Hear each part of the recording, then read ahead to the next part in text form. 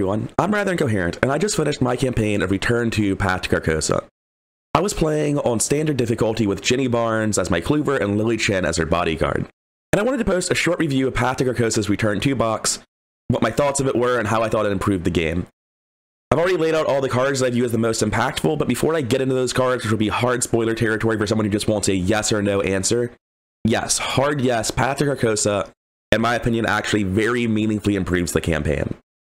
Generally speaking, every scenario I played I thought was meaningfully improved except for two of them, and even those two were still changed. That's about as far as I can get though without talking about spoilers, so let's start talking about the scenarios themselves. Every scenario is going to have a card like this, where on the front it tells you to change your encounter sets to the return to encounter sets. And one of those encounter sets and many of the return to boxes is Ancient Evils. It is usually changed into a different type of Ancient Evils where it's not always just place one doom, you have an option to take it as a different effect. And so I figured I'd talk specifically about Delusory Evils, because it's throughout the whole campaign. You never play with Ancient Evils, you play with Delusory Evils instead. Now, you're allowed to, instead of adding one Doom to the clock, put this card in your hand. And if it's in your hand, it does two things. One of them's obvious. When you succeed as a skill test by three or more, automatically fail instead and discard Delusory Evils. That's usually a lot better than adding a Doom to the clock, so you almost always pick that, but it's still a very negative effect.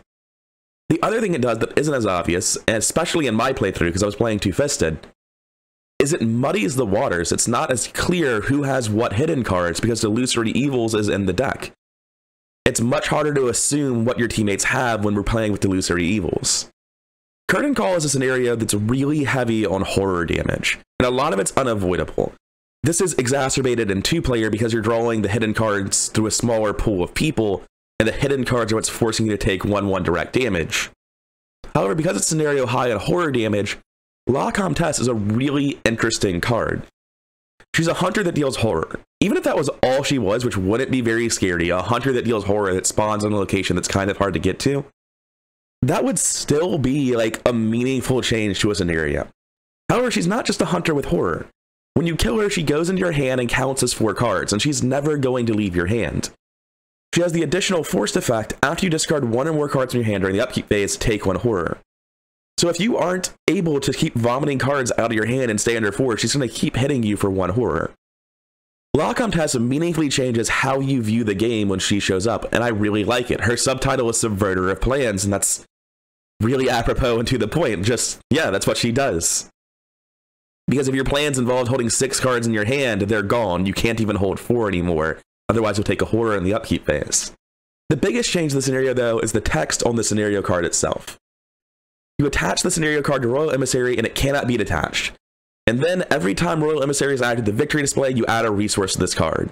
Royal Emissary is the recurring boss monster in the scenario, and every time it comes back, it's going to come back with one more health for every investigator in the game.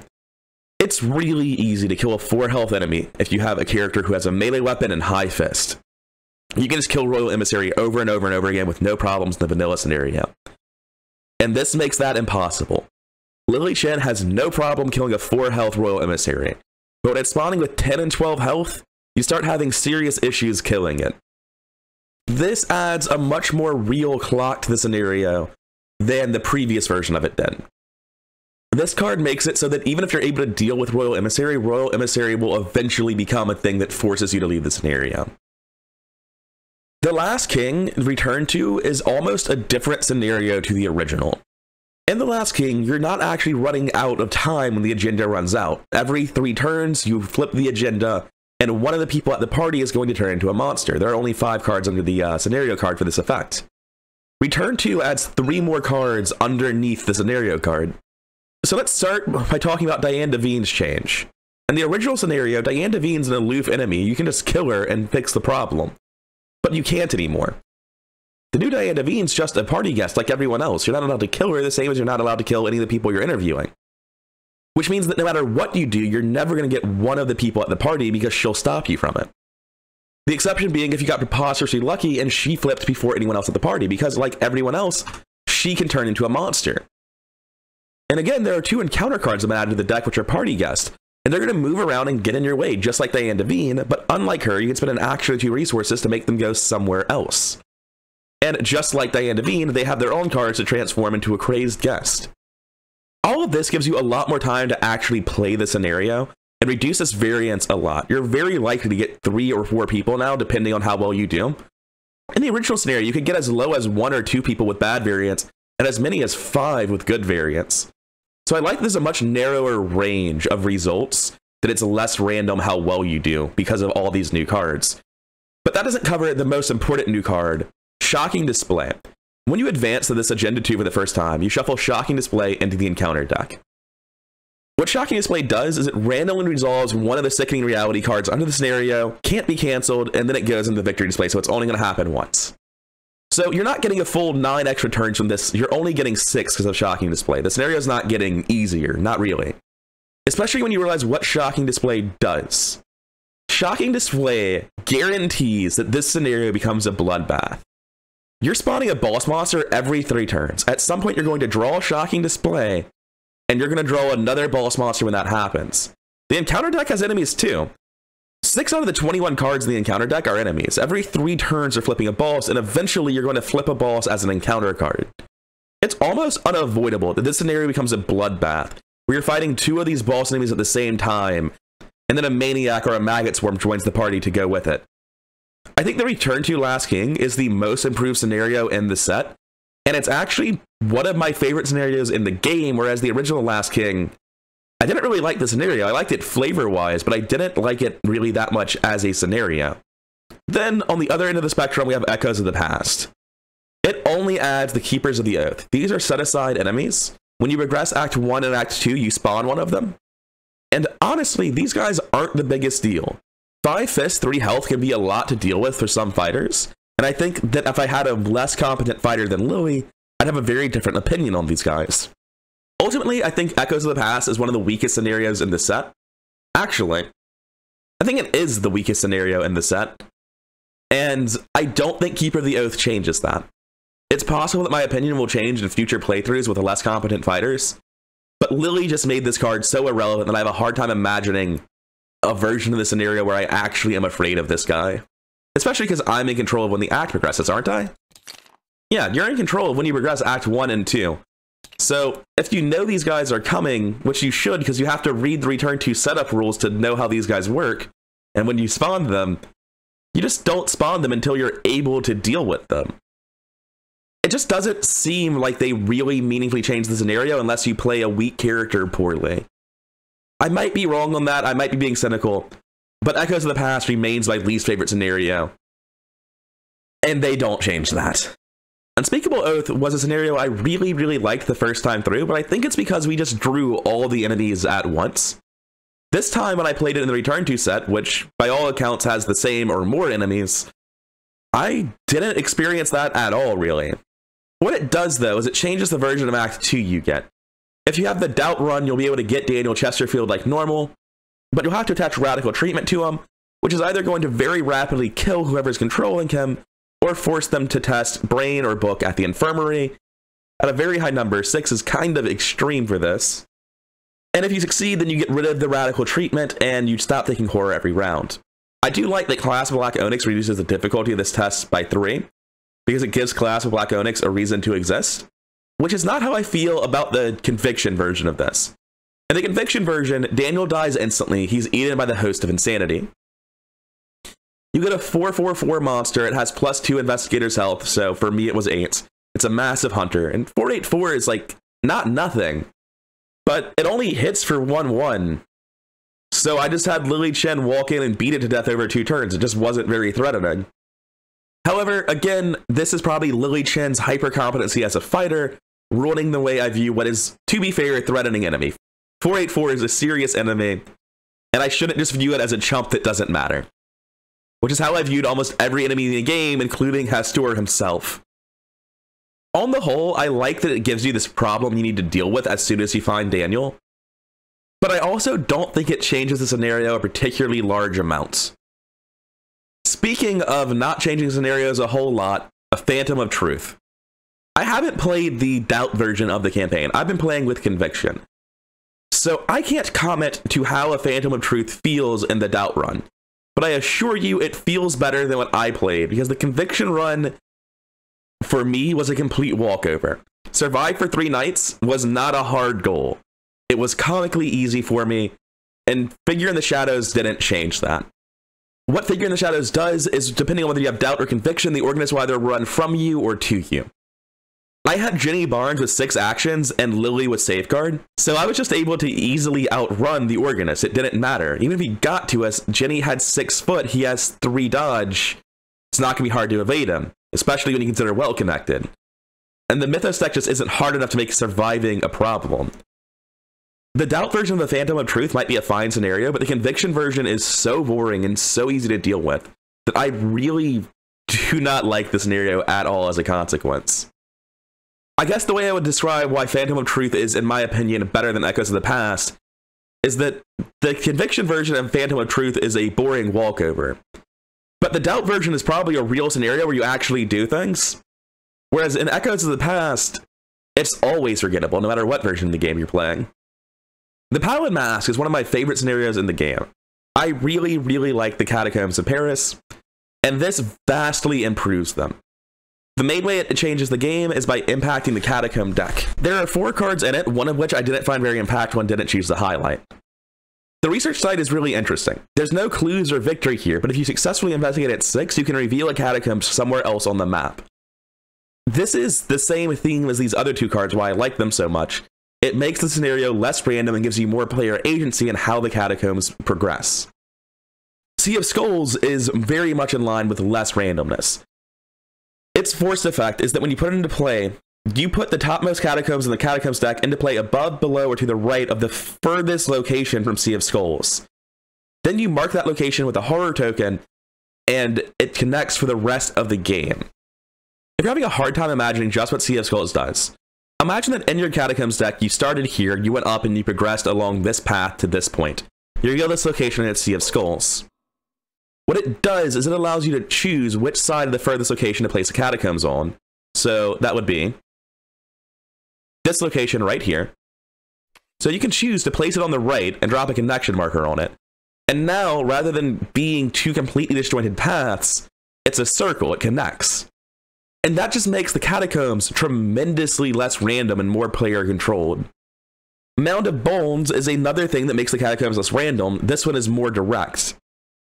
And the way it makes it less random is when you reveal Mound of Bones, you just place something on every side of it. You're not picking with one or placing a couple. You're placing up to four locations. Obviously, it'll only ever be three, but having a location where you just put catacombs in all directions makes it easier to do whatever it is you're trying to do in terms of expanding your catacombs. It also has the forced effect that at the end of the round where you revealed it, it's going to summon the malformed skeleton. There are two of these in the encounter deck, I believe.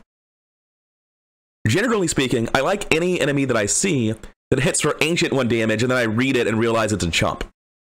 4-4 is difficult enough to deal with to be a real threat, but 1 foot makes it easy enough to evade and ignore. Of course, if that is your plan, once you're more than two locations away from it, it just teleports to you. So it's not super reliable to ignore it forever. However, it doesn't actually hit for 3-3. You pick whether it's damage or horror that it inflicts when you do get hit by it. On the whole, I think that the catacombs are vastly improved by these new locations, and I like the Malformed Skeleton enemy quite a lot. I already like the Pallid Mask and the catacombs quite a lot. I think I would say that the Pallid Mask is in a three-way tie with Dim Carcosa and the Last King for my favorite scenario in the bunch. But generally speaking, Return to Carcosa is just all solid scenarios. Black Star's Rise is the scenario that has two agenda decks, and you don't know which one's actually going to turn into an act deck until you progress through agenda 2 on that given deck it is virtually unchanged. As you can see, we switch out delusory evils instead of ancient evils, and we change a set of locations. That locations is this. We randomize Knight's Hall and Cloister. While the locations are different, the main effect is that you don't know which location is going to have the key versus which location is going to have the guide. So I would say that Black Star's Rise is basically unchanged. If you don't have meta knowledge, you probably wouldn't be able to tell the difference between Black Star's Rise, Vanilla, and Return to. Dim Carcosa is honestly a scenario that doesn't change that much despite having a huge number of changes. Since I love the original Dim Carcosa, that's not really much of a complaint from me. We switch out three of the encounter sets for their enhanced variants, but and while that does change the gameplay, it doesn't feel meaningfully different. However, we do remove the original Palace of the King from the game. In the original version, when you flip Palace of the King, it allows you to kill Hastur. But now, when you flip Palace of the King, it's going to reveal one of these locations on the map. Or more accurately, it's going to add one of these locations to the map, depending on which version of Hastur you got. And then once you've revealed this new location, you're going to have to go there, get all the clues from it, and reveal it to learn the secret. This doesn't change the scenario all that much, but it massively improves the flavor of the scenario for me. The fact that you're going to the stage of the Ward Theater or the throne room or your own mind, whichever it is, I really enjoy all of these locations thematically. The throne room is actually my least favorite of the Ward Theater and the recesses of your own mind, both being more interesting, but they're all thematically and flavorfully really interesting things to do. It also makes the scenario just a little bit longer, which I appreciate because I felt like Dim Carcosa can end very quickly. This text at the bottom really doesn't matter. Hastur's health cannot be reduced to less than 2 per investigator until an investigator knows the secret. The original scenario is supposed to have that text. What I'm assuming is happening is there's some way that a player is able to deal enough damage on Agenda 2 to kill Hastur instantly before Agenda 3 fires and makes him invincible. I'm not really sure why this text is here because the agendas already largely try to do that. High Priest of Hastur was single-handedly my favorite enemy in the game when I first saw him. He's a 6-4 enemy that is not easy at all to deal with. Two foot makes him easy enough to evade, and you're going to want to evade him because he's a hunter that spawns at the Palace of the King, and he's got the prey of the person with the most cards in their hand, which is also very likely to be the person with the most hidden cards. And he has the forced effect that when he hits you, if you have a copy of Possession in your hand, reveal it. He welcomes you into the Grand Company of the King, and you are eliminated and driven insane. So yeah, that's terrifying. He hits for lethal damage. And he's not an easy enemy to deal with. And he's not going to spawn next to you and make it easy for you either. He's going to spawn somewhere other than where you're at and hunt, which is the most inconvenient kind of enemy. However, there's a big problem with this enemy that I showcased during my run. He doesn't actually hit for damage. So, um, there's nothing on this guy that says that he's going to only engage his prey. There's nothing on him that says he's going to disengage and look for his prey. There's nothing on him that says if you're engaged with an investigator, disengage from them and go find the guy with possession. So in my version of the game, Lily Chen drew two copies of possession and Jenny Barnes drew none. So I just had Jenny Barnes engage the High Priest of Hastur before he got to us. He's not massive, so he doesn't ever do anything to Lily. He never disengages. There's nothing in the game that would make him do that. So he's just going to be engaged with Jenny for the rest of the game. If he hit for one damage of any kind, it would stop that. But because he doesn't, every time Jenny did everything, this guy just played his flute and invited her to join the Grand Company and was politely declined. He just followed Jenny around the entire scenario, playing the flute, doing nothing. So I love this enemy. However, it desperately needed one horror damage. Just one horror damage is all it takes for this enemy to go from literally doing nothing to actually fulfilling the threat that it's supposed to. And it's really sad that it fails that goal.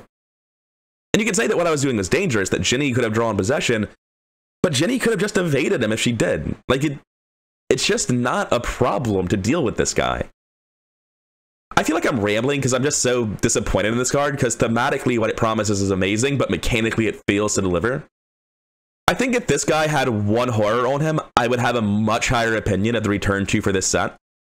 But instead, I think it has one really cool but ultimately irrelevant enemy, and it does meaningfully improve the final parts of the scenario where you're trying to kill Hastur himself by learning the secret. None of the alternate encounter cards that I played with really stood out to me in this set. I know I played with them, but compared to my memory of Carcosa, all of them felt largely the same. There was no massive shift in the way the game played because of the individual encounter cards. I'm sure it changed the game in a meaningful way, that it was improved in some way, but it's not something massive like the stuff that I'm talking about here. I think I could recommend the Return to box only for The Last King. But The Last King and the Pallid Mask were both massively improved. Curtain Call, Unspeakable Oath, and Dim Carcosa were also improved slightly. Echoes of the Past, I'm still ambiguous about. I understand what Keeper of the Oath is trying to do. I want to say that with a weaker fighter, it would have meaningfully changed the scenario.